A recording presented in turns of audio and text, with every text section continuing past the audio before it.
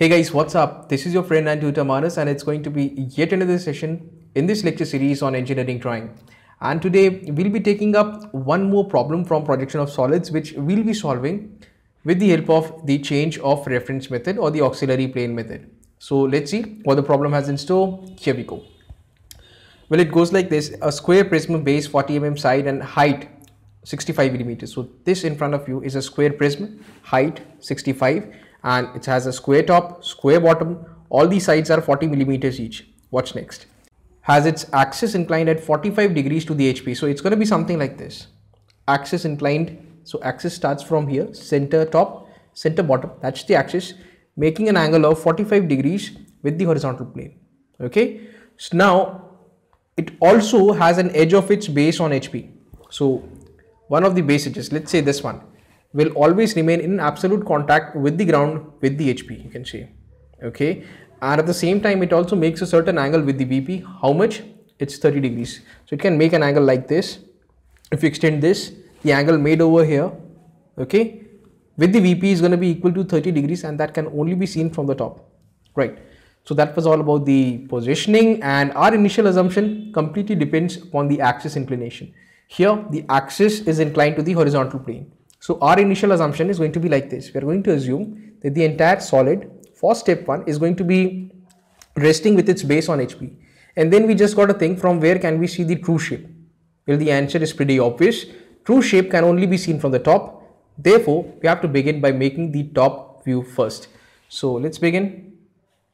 Let's say we have four corners at the top in the form of 1, 2, 3, 4. Four corners exactly at the bottom in the form of 5, 6, 7 and 8 so it's going to be something like this top bottom and let's take a look at this from the front. This rectangle is something which is going to be visible to you okay? And to be very precise let me tell you you're going to see this rectangle 2 3 7 8 7 6 okay height is how much? It's 65 that's the axis. So four corners at the top right? Two in the front one at the back 2 dash 1 dash okay? And 3 dash 4 dash at the bottom we have 5, 6, 7, 8. Therefore 6 can be seen initially and behind 6 we have 5. So 6 dash, 5 dash and here we have 7 dash and 8 dash. So that was all about the initial position. But what we've got to do is we have got to incline the axis. In the change of reference method, we don't do this. We don't change the position. Rather, we have a reference plane or an auxiliary plane kept in such a way that it is going to make an angle of 45 degrees with the axis itself okay so let me show you how that can be done. We're going to have an auxiliary plane over here an auxiliary inclined plane onto which we'll be having the auxiliary top view. Now this auxiliary inclined plane will be making an angle of 45 degrees with the axis. And if you watch carefully this plane is actually passing through 7 dash 8 dash. Why? There is a very specific reason.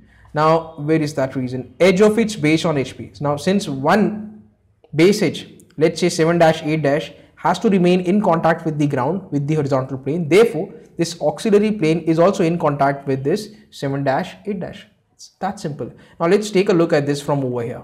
Okay let me have the projector lines from all these points. It's going to be something like this. Very easy to draw. Can be done simply with the help of a mini drafter. Okay so what essentially we are doing is we are creating the auxiliary top view on an auxiliary inclined plane. So this top view's reference has to be taken into account how can that be done? Let me show you.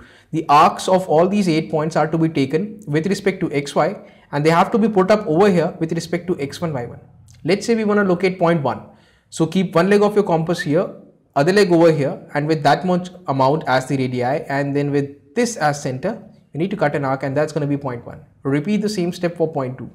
Keep one leg of your compass here, other leg over here at 2 with that much amount as the radii and with where is the line for 2 this guy is the center cut an arc and that's going to be 0.2 you have to repeat this same step six uh, six more times and you're going to get this.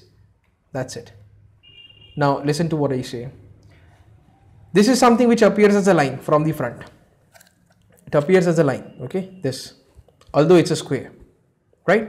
We are looking at this from over here and we have an auxiliary inclined plane over here from here. This square is going to be visible to us this rectangle is also going to be visible to us. What is the name of this square? It's 1, 2, 3, 4. What is the name of this rectangle? This rectangle, this rectangle I'm talking about, it's 1, 2, 6, 5.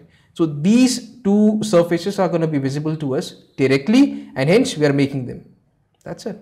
Okay, so what's not visible? This 7 dash 8 dash is not going to be visible to us. So it has to be given some respect in the form of a hidden line. So let me draw that quickly. Here we go. And let me have the axis. That's the axis.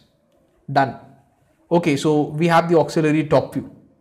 Now from top view, we have to go for front view. And for front view, what we need to do is we need to have an auxiliary vertical plane. Okay guys, now in the final step, we have to go for edge inclination. So edge is inclined at an angle of 30 degrees with the VP. Where is that edge? This is the edge, which is in contact with the HP, but it makes, but it makes a certain angle, this edge, makes a certain angle with the vertical plane also. So instead of repositioning this edge at an angle of 30 degrees with the vertical plane, what we'll do is in change of reference method, we'll have an auxiliary vertical plane over here this way which is going to make an angle of 30 degrees with this edge. Let me show you.